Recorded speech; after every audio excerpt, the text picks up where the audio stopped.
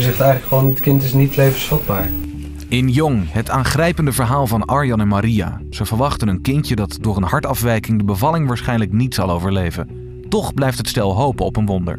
Maar ik besef heel erg goed dat het misschien ook zo kan zijn dat het kindje hier nooit komt te liggen. Of tenminste misschien op een andere manier. Vanavond, Jong over afwijkende zwangerschappen.